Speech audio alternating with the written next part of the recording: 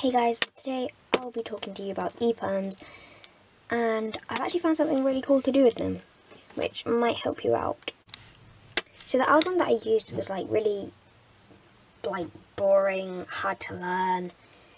I generally just didn't like it. It's in the top here so yeah, some of you might have learnt it. There's loads of algorithms for the EPIRB so you might not even need to look at this video but if you're learning this algorithm and finding it hard like I was, here's a cool trick.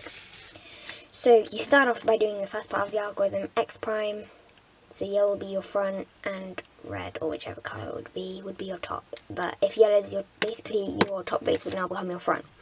And we'd make sure that these match up, so that goes to there, yep, that goes to there, and so on. And then we'll do the first part of the algorithm. So um, R U prime R prime D R U R prime D prime. Then we'd carry on by doing R U R prime D R U prime R prime D prime. Like that's a cool algorithm. Um, some of you might find it easy to learn, but I've got another way of doing it. So we start off with the same algorithm. So we start off by doing x prime, ru, r prime d, ru, r prime d prime. That's all called, that's, I found that fairly easy to learn. Then we don't do the second half. Then we look at the yellow face, have a look at this OLL. This is a pretty easy one that you should, most of you should know um, from two-look OLL.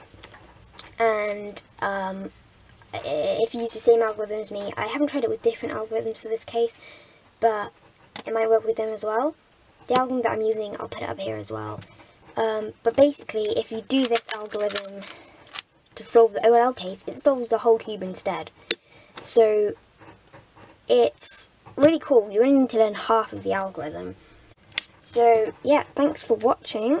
Um, it's a bit of a weird video. I haven't seen anyone else doing this. Um, if they have, then um, I didn't steal a video off them. I came up with it myself.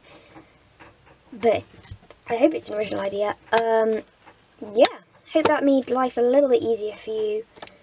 See you next time.